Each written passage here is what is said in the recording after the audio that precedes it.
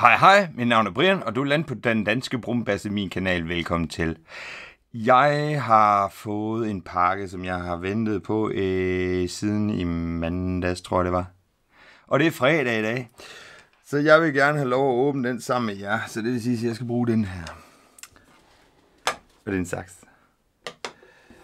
Og jeg ved faktisk ikke, hvor meget jeg bør tage den her op på bordet, fordi den vil nok ende med at fylde en delens masse. Ikke? også? Jeg sidder bare lige og kigger op på mikrofonen, fordi jeg er sikker på, at den fanger min lyd. Bam. Yes. Godt. Men, men det er altså den pakke her, der er tale om. Yes. Jeg har smidt, øh, jeg har dækket navnene til. Fordi der er intet her, der er sponsoreret. Og det vil jeg bare gerne understrege med min gaffatab. Yeah. Godt. Og jeg, jeg kunne selvfølgelig, jeg kunne selvfølgelig godt starte med at sige, hvad det er og sådan noget. Men det er ligesom om, det vil jeg ikke. Skal vi lige se. Yes, det kan lige gå.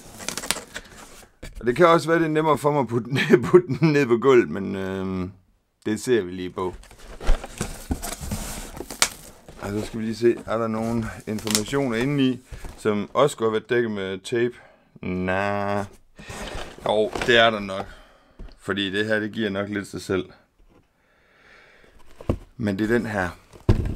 Den her. Jeg har, kig, jeg har kigget på den længe, og, og undrer mig over, om jeg skulle bestille den. Og jeg har tænkt på det længe, men den var jeg faktisk ingenting. Det var faktisk helt vildt. Godt. Men jeg har bestilt den her ka- tingest der. Jøber. Og... Jeg har bestilt sådan en her har jeg bestilt sådan en omgang her. Og så har jeg bestilt den her. Så skulle der, så skulle der efter sine ikke være mere i kassen. Udover papir. Der er sådan noget papir derovre. Der er noget papir der. Det er godt.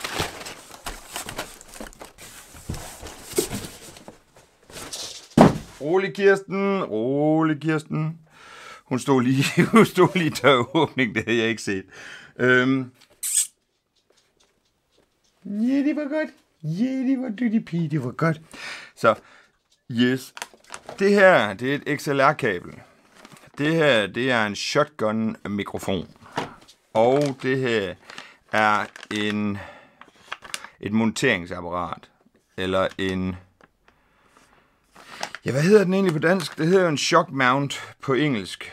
Og en shock mount er en ryste observator, observatør, obs, obs, obs, det kan jeg ikke engang sige. Men det den gør, det er, at den holder mikrofonen stille og sørger for, at rystelser ikke kommer op i, op i mikrofonen, såsom den slags. Men det gør egentlig ikke rigtig noget, fordi det her er en mikrofon stativ. Jeppe. Jeg har allerede et stativ i forvejen. Det her det er en billigere udgave. Så nu får vi lige se, hvor god en billig udgave er. Fordi den anden, den købte jeg på dansk jord. I en butik, der ligger oppe et sted i Aalborg. Så er den tom. Tæt på at ramme i. Det gjorde jeg bare, ikke? Og... Kan den komme ud i en eller anden retning? Nej, det vil den ikke. Den vil ingenting, den her. Den vil ikke samarbejde. Sådan der. Jeppe.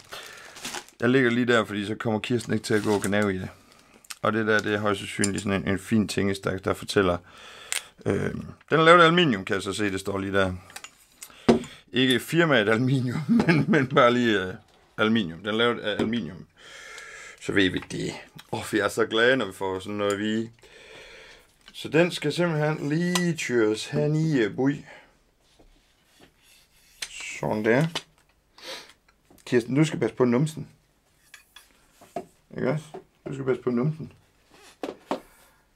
Kan I se den? Det kan jeg godt. Og så er det der simpelthen næsen fremad. Jeg har ingen idé om, hvor langt den her den kan skydes ud, eller om der er mere end en forlænger i. Det tænker jeg ikke helt. Det, det tænker jeg umiddelbart ikke, der er. Og det er selvfølgelig ulempen ved, øh, ved den her. Fordi den anden, jeg har, den kan sådan set forlænges med nogenlunde det samme. Men jeg må altid tilstå, at jeg er lidt i tvivl. Jeg ved ikke, om der gemmer sig noget herinde i.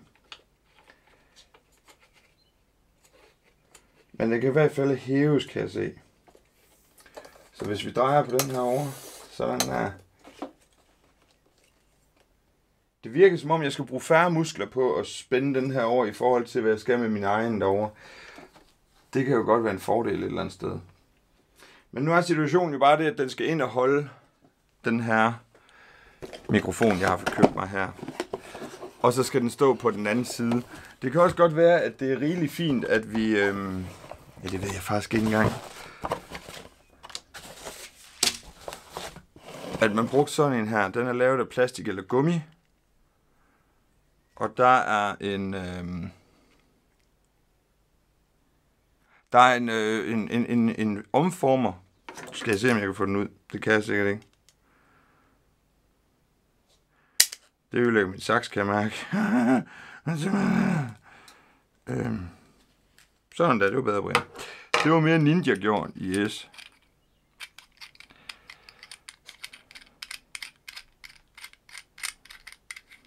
Hold da. Det er omformeren, og det der, det, det, det, det ser sådan der ud, ikke? Sådan der. Omformer og så videre. Yes, godt. Den er sådan cirka sådan der. Den passer så dernede i, og den følger så med kassen. Og så skal vi se, fordi et eller andet sted, så kan jeg sådan set pille den her af.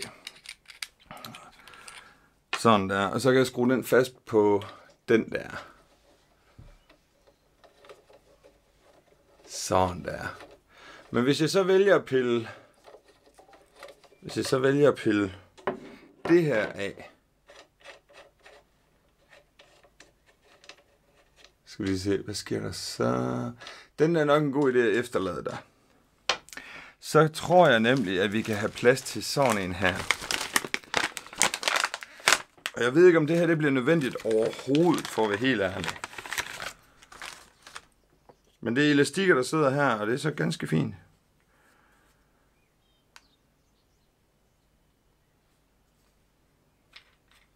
Nej. Den her, den er til et kamera. Og så vil jeg våge at påstå, den påstår med post på. Det kan den ikke.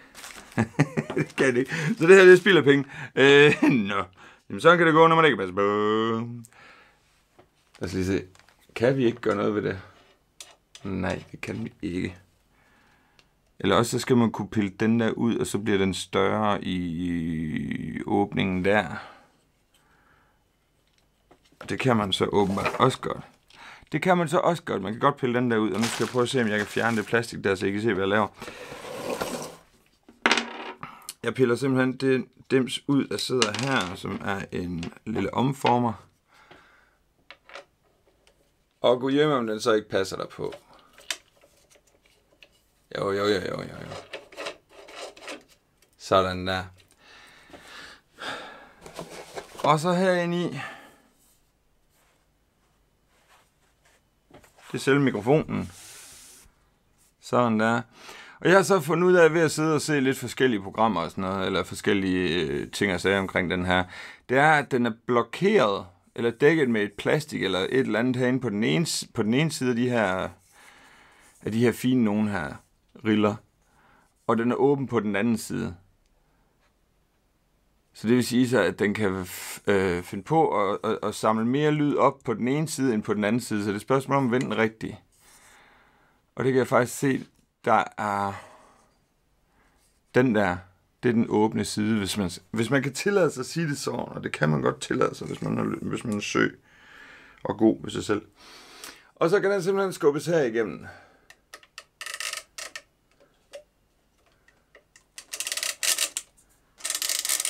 Sådan der, ikke? Og så tager man simpelthen XLR-kabel her og tilslutter op i numsen der, og putter den ned i hvad end enhed du har til at køre. Og så står den her og samler lyden op. Sit spørgsmål er faktisk, om den skal stå sådan her. eller om vi skal have den hævet, eller sænket, og så have den kørt ind over. Jeg skal have den til at ramme mig, når jeg sidder ved mit streaming, øh, streamingapparat og hygger mig. Så skal den jo gerne fange mig sådan der. Men det tror jeg er en dårlig idé, så jeg vil faktisk hellere, jeg tror hellere, jeg vil benytte mig af den her. Og så simpelthen sætte den på. Og når jeg så har sat den på, så har jeg en, en, en sandsynlighed, eller så har jeg en mulighed, hedder det vel nok nærmere ikke en sandsynlighed, så har jeg en mulighed for at, og det kan I ikke, det kan I ikke se. Nej, den er for høj. Den er for høj. Øh, vi kører lige den her op Nej, det hjælper ingenting. Det hjælper ingenting. Den er helt i bunden lige nu. Og, og den her dims her, den, den kan ikke komme længere ned. Så det er bare fe på en eller anden mystisk måde. Men så tænker jeg, så bruger jeg den her i stedet for, fordi den kan nemlig, den kan nemlig pege hvor, øh, i den retning, jeg gerne vil have den til at pege i. Yes. Så det tænker jeg, det er den, jeg benytter mig af i stedet for, fordi så kan jeg pege den, pege den rigtig ind i vinkel på mig, i stedet for at jeg har sådan en stiv arm som det der. Og når den står om på den anden side af skrivebordet, så er det ligesom om, så kan den jo ikke rigtig nå mig. Altså selve stativet, så kan jeg ikke banke til det og banke på det og sådan noget. Det var mig, Kirsten. Det var mig. Og så det her, det øh, er popfilter-agtigt, modstandsdygtigt-agtigt, et eller andet med agtigt-agtigt på. Men jeg tænker, jeg lige undersøger, om det skal være med eller uden den her popfilter-ting her. Fordi, når du sidder og kigger på den, og, og, den, og den fanger øh, lyden fra mit bryst af, så tænker jeg ikke, at den, den øh, fanger de her plosives, pl- øh, luft. Prøv lige at stoppe det der pjat der. Så, hut, hut, hut, bliver sagt. Så fanger den ikke de her eksplosioner, min mund gør med T, P, B, B. Nej. Der er nogle bogstaver, som får, din, som får mere luft ud, og de har en tendens til at påvirke din mikrofon, hvis den er tæt på dig. Men da den ikke er tæt på mig, og den er langt væk fra mig, så tænker jeg, at det har ikke den store sandsynlighed for at fange dem. Hvorimod, hvis den er her, jeg synes nok, så vil man kunne høre det. Jeg ved ikke, om det var en god eller dårlig video, men, men det var en cache, jeg ventede på, og nu vil jeg faktisk gå over og sætte den til over på, på øh, streaming-afdelingen, så jeg kan bruge den øh, enten som en sekundær mikrofon, eller som en eller som hovedmikrofonen. Det er det, jeg ikke rigtig har fundet ud af nu. Fordi den anden, den dækker faktisk også rigtig godt med lyd, men jeg kunne bare godt tænke mig at vide forskellen. Er det, er, er det fjollet? Ja, det, det er nok lidt, det er nok, det er nok fjollet. For det er en dyr, det er det helt, jo, det er, det er, det er jo penge. Selvfølgelig er det penge, og penge er jo ikke bare noget, man skal gå og, og kaste til højre og venstre, som, som vinden blæser, fordi at, øh, alt har en pris, og, og har man ikke råd, så er det jo mange penge. Men jeg, jeg følte, jeg havde råd, så jeg gjorde det. Yes. Så det man kan her, ikke, det er, at man trækker den ud derfra, og så putter man den simpelthen ind i den her. Sådan der. Og så sidder den jo så fast på stativet her, ikke? Brup. Og så kan man så vinkle den ind, alt efter hvordan man vil have den. Og den er jo væsentligt mere fleksibel, når den sidder der, end når den sidder deroppe i den her stive arm, og den der stive holder og sådan noget.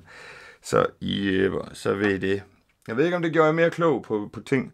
Og, og nu kan jeg selvfølgelig ikke se den, fordi den er uden for øh, billedet. Men, men den her føler jeg går hen og bliver en, en meget stiv vinkel, hvorimod den anden den er væsentligt mere fleksibel. Ikke?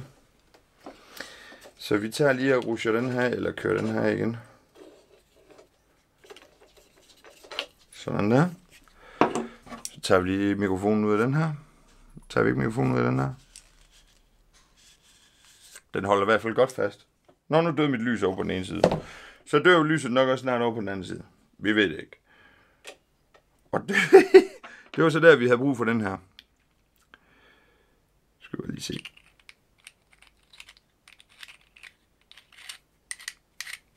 Ja, det ser lidt mystisk ud. Men sådan kan det gå, når man ikke passer på. Så det skal I altid huske. Pas på. Og altid have jeres batterier ladet op. Man kan kun lære af sådan nogle her oplevelser. Nu er det mig selv, der fejler, så det kan ikke, øh, det kan ikke gøre nogen kæde af, jo.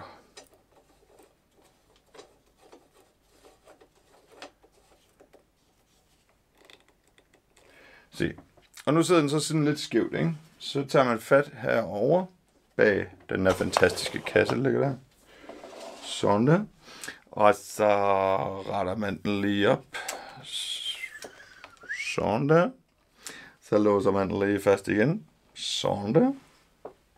Så tager man mikrofonen. Sådan der. Så kører man den ind. Sådan der. Yeah. Sådan der. Boop. Og så tager man mikrofonkabel og fyrer ind i den der og ned i den der. Ikke? Det bliver mega godt.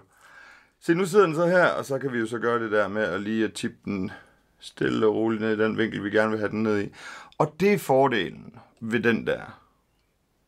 Men jeg købte den her, fordi jeg tænkte, at det bliver aktuelt med den her... Øh, I hvilket forstand, det ved jeg ikke, men, men jeg, en gang imellem, så køber man bare nogle tårlige ting, og så tænker man, det kan jeg godt få brug for, eller også så har jeg brug for det, jeg ved det ikke. Og, og, og så gør man noget. Og så er det ikke altid, at det er sådan, det hænger sammen. Jøber. Det var sådan set øh, bare det, jeg vil vise jer. Og Så næste gang du måske ser mig på en stream, så ved du, at lyden måske kan være lidt anderledes. Og så ved du også, hvorfor lyden er lidt anderledes. Jøber. Så mit navn er Brian. Tusind tak, fordi du kiggede ind. Hold den flyvende. Jøber. Skal du virkelig se det? Jeg tror ikke, jeg tror ikke det er topkvalitetskabel, det her. Det, det tror jeg simpelthen ikke. Det tror jeg ikke. Men det er jo bedre end ingenting. Hvad kan jeg for det? Skal jeg 35, 40, 50, 80, 80 kroner for det her kabel her? Og, og alligevel 6 meter. Det er ikke dårligt.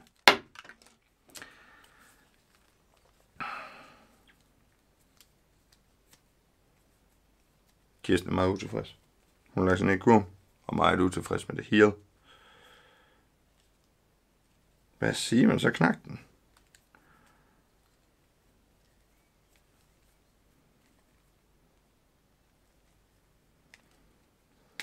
Sådan. Det kan godt se, den knak, den der. Øh, det er ikke helt, uh, det, det, det, spiller ikke helt, det der.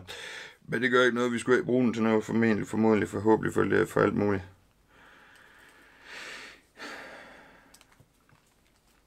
Så tager man den her ind, som er hun, stikker ind i han, går stærkt ud fra. Sådan der. Og så ryger den her ind i anlægget på bordet. Up. Og så skulle den gerne øh, spille. Så har vi en mikrofon mere. Det blev, jeg, jeg, jeg glæder mig faktisk til at høre, hvordan den lyder, den her. Så det, det, det vil jeg kaste mig i nu. Lige sætte den fast. Jeg gider ikke at vise dig det. Jeg, jeg synes, jeg har vist dig rigeligt her, ikke? Det er så fint. Så som jeg sagde før, mit navn er Brian. Tusind tak, fordi du kiggede ind. Hold den flyvende. Ja, ikke? Kanon.